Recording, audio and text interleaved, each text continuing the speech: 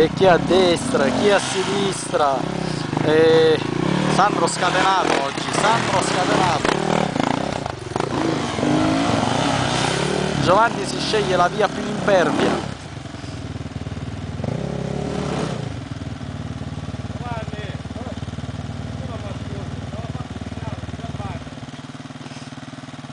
Giovanni fa seccare a Roberto